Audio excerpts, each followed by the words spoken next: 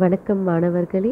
இன்றைக்கி என்ன டாபிக் பார்க்க போகிறோம் அப்படின்னு பார்த்தீங்கன்னா டிஎன்பிஎஸ்சி ஏஇ டுவெண்ட்டி டுவெண்ட்டி டூவில் கேட்ட ஒரு one of the maths question தான் வந்து பார்க்க போகிறோம் which term of an AP sixteen eleven six one is minus fifty four அப்படின்னு கேட்டிருக்காங்க.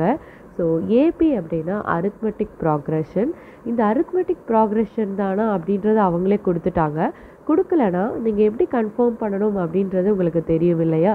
So second term minus of first term equal to third term minus of second term இதை பண்ணீங்க அப்படின்னா so eleven minus of sixteen equal to again வந்து பார்த்தீங்க அப்படின்னா six minus of eleven இதை போட்டிங்க அப்படின்னா உங்களுக்கு ஆன்சர் கிடைக்கும். ஸோ இதன் அடிப்படையில் நீங்கள் என்ன பண்ணிக்கலாம்? நம்ம வந்து இது ரெண்டும் ஈக்குவலாக இருக்குது அப்படின்ற பட்சத்தில் ஸோ உங்களுக்கு ஆன்சர் என்னவாக இருக்கும் அப்படின்னு பார்த்தீங்கன்னா இது ரெண்டும் ஏபியில் இருக்குது அப்படின்னு சொல்லிட்டு அர்த்தம்.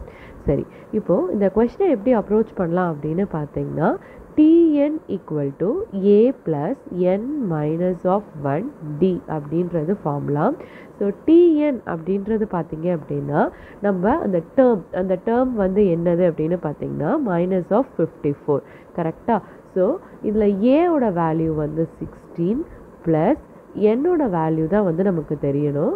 So n minus of one டியோட value என்ன அப்படின்னு பார்த்தா minus of five so minus of fifty four equal to sixteen minus of five n plus five அப்படின்னு நமக்கு கிடைக்கும்.